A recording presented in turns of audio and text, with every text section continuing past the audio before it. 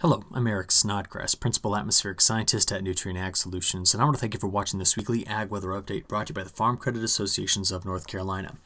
Well, we're going to begin today's video by talking long term. We're going to look out at summer and look at some of the major drivers of this summer pattern. So I'm going to take you back one month ago on April 9th, and we're going to look at sea surface temperature anomalies, which means differences from normal. Now, as we think about this pattern, there were a few areas that I want to watch very carefully. One is going to be the North Pacific tucked here into the Gulf of Alaska. Two is going to be this area right over here in the Western Atlantic Gulf and in the Caribbean. And the third is going to be right in through here. And we're also going to take a look at what's going on just north of Australia as well. Now, if you just, let me get those drawings off there and just take a quick mental snapshot of this because what I'm going to do next is I'm going to show you how things changed over the last month. So ready? This was one month ago. This was over the weekend. Now you notice that in the North Pacific temperatures have warmed considerably. You can see that in the North Atlantic we have a tongue in through here where we started to see some cooler water mixing in with the Gulf Stream, but still very warm to the south of it into the Caribbean and Gulf of Mexico. Three, notice this area right in through here, finally starting to show up right in through there, especially with some cooler water that's been surfacing from below. But the Indian Ocean, very, very warm for this time of year. Now, these are going to be the four regions across the world that we're going to have to watch very carefully as our early preseason indicator of what summer might give us. Okay, so let's talk about that and see what is currently going on there. Now, the graph that's over there on the left shows you something called the Southern Oscillation Index. It's an index we use to see the behavior of El Nino. And in general, if the value of the index is below minus 7, we're talking about a strong El Nino. If the value is above 7, which is off the chart, it's way up here, we're talking about a strong La Nina. Zero's right in through there. And what I want you to notice is that going back to April, we've been climbing in the value of the Southern Oscillation Index now that it's sitting just above zero. Now, what does that mean? Well, if you look over there at that figure that's on the right, see the blues? The blues, this is looking back in time from May 15th all the way back to April 10th. And you're getting a snapshot looking straight down, uh, basically east to west across the Pacific Ocean, right on the equator. And the blues indicate where the winds are stronger out of the east. We call those the trade winds. And when they're stronger out of the east, stronger than normal, that generally indicates, well, the beginnings of what could be uh, a La Nina like upcoming summer, especially late summer and early fall. So, this is the latest data. This is what I'm getting to here. This is valid June, July, and August of this year. And if we look at those four areas, in fact, we'll just put some uh, circles from PowerPoint on them so you can see it. Those are the four areas I'm most concerned about. Notice that in the central Pacific Ocean, the stronger trade winds allowing for more upwelling, cooler water extending across this area. Now, what's critical about this is that normally, whenever we see La Nina like conditions, we often see that the waters in through here cool off too. Now that would be critical if we saw the models doing that, but we don't. In fact, in that area, what do we see? We see the water staying very warm in the North Pacific. Now, why this is so critical is because of where the warm water in the North Pacific, with relation to what's going on in the central equatorial Pacific, does to the jet stream. If it stays warm in the North Pacific, this is going to favor the jet stream favoring more of a ridge like this. And if it ridges over the western part of the United States into this area, it tends to give us more broad and extending troughs across the east, just in general. Now, if that is the setup for this upcoming summer, that is something that takes off the major risk of heat stress all summer long. It puts it west. That is consistent with the warm water that you see over here. Now, as we've been talking about in the last few videos, if La Nina conditions do begin to emerge, and they slow down the wind shear within this area, we do know that the ocean temperatures are forecast to be warmer than normal, which means, despite everything I just told you, we could see a very active hurricane season. So with that as a backdrop, let me show you what the latest June, July, August forecast is from the European model. Now remember, out this far, we cannot use the MJO. We can't use those other indices I'd like to talk about, like the North Atlantic Oscillation or the East Pacific Oscillation. They're all subseasonal. We can only use looking this far out ocean temperatures. And the model's being consistent with the warmth pushing into the North Pacific. It is favoring a jet stream pattern that maybe does something a bit more like this. And that is why you do not see right now the longer range models picking up on extreme heat. Now, here are a few things I want to watch. We currently have drought setting up in this part of the United States. So I'm drawing over the top of this temperature map.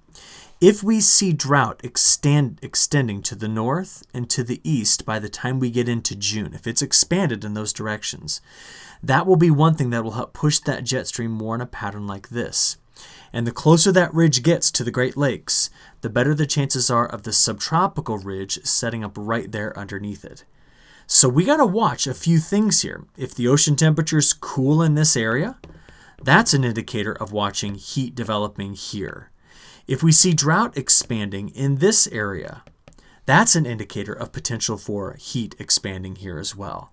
So right now the models are not giving us that, but we have things we need to be watching. So to stay consistent, here's what the precipitation pattern's looking for. And overall, it's keeping much of the eastern Corn Belt, much of the mid-Atlantic, parts of the Carolinas, getting down into the Gulf Coast, wetter than average for summer we can see that the models are also trying to create some homebrew uh, tropical activity. That's tropical thunderstorms that develop right here along the Gulf Coast, which have the potential to become, well, more serious systems like tropical storms uh, or potentially even hurricanes. So this is what we're looking out for June, July, August. This data just became available midweek last week. I want to give you those updates, okay? From here, let's now take a look at what we got over the weekend. This is a very fast animation of what we saw over the weekend in terms of record cold. And let's just go right here to early in the morning on May the 9th, right there. So this is Saturday. We can see widespread across each part of the country, each one of those blue dots representing here uh, temperature that was either approaching, breaking, or setting a new all-time record low. Very cool temperatures tucked away in that uh, broad trough across eastern part of the United States. Now to show you how cold it did get, I made this map which looks at the number of hours spent below 32 degrees Fahrenheit, from 7 p.m. on April 7th, now that's Central Time, uh, to 7 p.m. on the 10th, so Mother's Day here. Now, what we did get in the Carolinas was we had some patchy frost into this area, but in general, temperatures only got down to the low to middle 30s across the area, but some of the low-lying areas, patchy frost. For you corn and soybean farmers, look at where we hit with um, not just a freeze, but a long duration freeze in parts of Iowa, Wisconsin, Illinois, Indiana, and Ohio. We had freezing temperatures that got all the way down into Kentucky and Tennessee as well.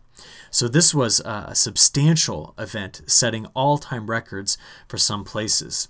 Now, just to show you something kind of neat put out here by the National Weather Service at Pittsburgh, have you often seen those signs or heard about how the bridge freezes up before the roadway does? Well, because of the airflow going over the bridge and under the bridge, it gets cool much quicker. And this is just a great image to show you what that looks like. So where the uh, road touches the ground, it's more insulated and therefore doesn't have this effect. So I just want to show you this neat thing we saw uh, over the weekend here. So where's this pattern going? Well, we can see that still at the beginning of this week, a deep trough out west, big ridge running up the western part of the United States, and then this deep trough here, which is going to still take a couple of days to get out of the way. Now this trough here and this ridge are highly amplified. In fact, that ridge goes clear up into the Arctic. But this pattern is breaking down. Let me show you how things look one week from now. This is now next Monday. That trough is now sitting here. See it right there. And a broader ridge extends across much of the eastern two thirds of the United States. This certainly means a return toward warmth. This also means a return toward big time Gulf moisture here. But what about precipitation patterns in the Carolinas? Well, we need to talk about that because the European model over the next week paints this corridor in through here as being very wet and it leaves the Carolinas off dry. We are watching the potential for some tropical development here uh, over the uh, Bahamas, but it is forecast to stay offshore. Now, we're not talking about any major tropical storm or hurricane, but I'll show you what I mean in just a few moments. What about even out into week two? Still, we do not see a lot of above average precipitation for the Carolinas as we stretch out that far. And just to show you, we do have multi-model support in this. These are now the same two maps, week one on the left, week two on the right from the GFS. Okay? So thinking about that, let's now put this into broader perspective. Over the next 15 days, which is what we're looking at, we do see drier than normal conditions in this section of the country and much wetter here. So piggybacking off of what we talked about earlier, I want to watch carefully to see how much moisture does return to this area here because it's going to be critical for North Carolina's summer pattern because we've been very dry in there. See that? So if moisture returns to that area and the heat stays out west, and we still see those warm ocean temperatures in the North uh, uh, Pacific, that's a better indicator that this upcoming summer will not see the moisture and temperature stresses. So let's watch it very carefully. Now, one thing is for sure, the temperatures are warming. Take a look at this. Now, this is for Raleigh. What you see here in kind of these green bars is the temperature overnight, and in the blue, that's the temperature in the afternoon. So we have a cool Tuesday, Wednesday, right? Look at Thursday, Friday, Saturday, Sunday, Monday, yeah, we may see temperatures topping on the upper 80s, lower 90s as our lows finally regain back here into the 50s and 60s. But we still got another cool morning tomorrow morning to deal with here uh, with these overnight low temperatures. So the next five days, still the broad cool sector here, but it's moving. You saw it just a moment ago. That cooler air is moving to the east, such that by day 5 through 10, look at the warmth that's returning, especially over here to the Carolinas, where we're going to go over into summer-like temperatures. As we look out here today, 10 through 15, it is still on as we try to finish out the month of May with above average temperatures. So the cold we're getting right now, we've seen over the last few days, it's temporary, it's on its way out, and we're going to see much above average temperatures returning. Now let's get into some of the details here. Over the next couple of days, we have uh, two regions we're going to watch pretty carefully for severe weather. We're going to start here today and then move it over there on uh, by the time we get into tomorrow on, uh, on Tuesday. But as we look out over the next week, it's really only going to be the Appalachian Mountains, I think, on their western facing slopes are going to be seeing much of any precipitation. If you watch this again, this just takes you through Monday, into the day now on Tuesday, working our way into Wednesday morning, and we still don't see much of a chance at precipitation, mainly over here at the higher elevations in the western side of the state. Uh, when we look out to Wednesday, uh, high pressure dominates the return of moisture is here. It's up in the midsection of the United States. Also, the windy conditions are as the air flows clockwise around that high. And at that time period, that's where the severe weather is. Now, this is a nice break over what we've seen so far this year with much above average severe weather across the Carolinas. So, as you go out through the next week, this is the European model, operational European model. And look at that donut hole right there. There's a chance that outside of the, the mountains in the west, uh, of North Carolina here, we won't see much precipitation at all as our temperatures really start to rebound. So when is there a chance? Well, we can play the European model, but you've seen so far through Wednesday morning.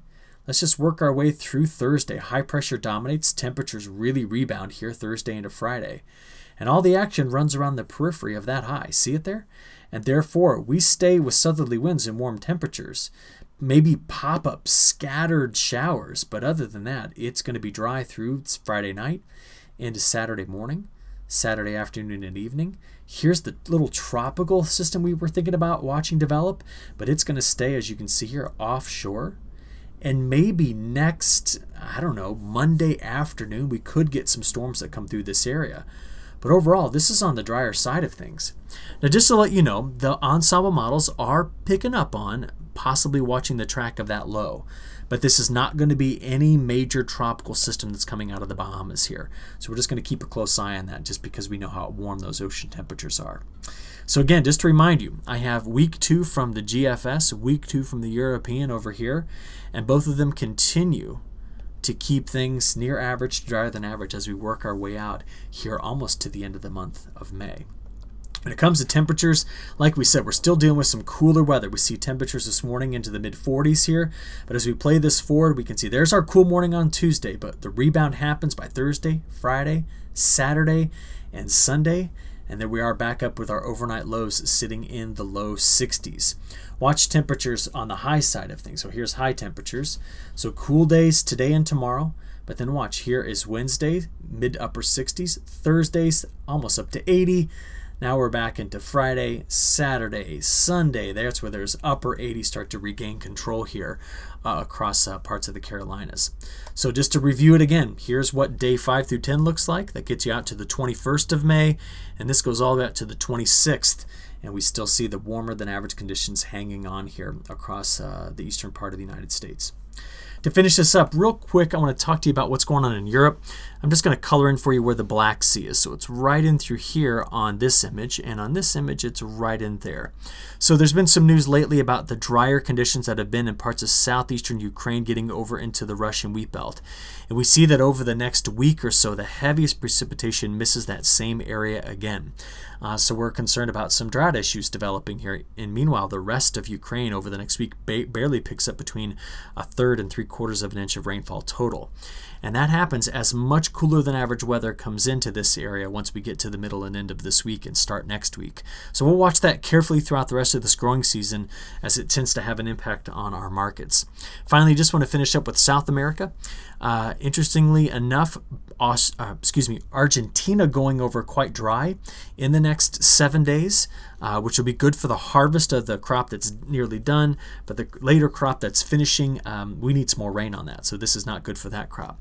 What I meant about interesting was that finally we're seeing precipitation coming through Paraguay here into Mato Grosso do Sul over into uh, Paraná and Rio Grande do Sul, areas that have been exceptionally dry, while this section of Brazil begins to dry out a little bit here. So uh, interesting just to see how things are shaping up globally here as we finish one crop in one area and begin crops in the Northern Hemisphere. And with that, we're going to go and wrap it up right here. I hope you all have a great week, and I'll talk to you again next Monday. Thank you.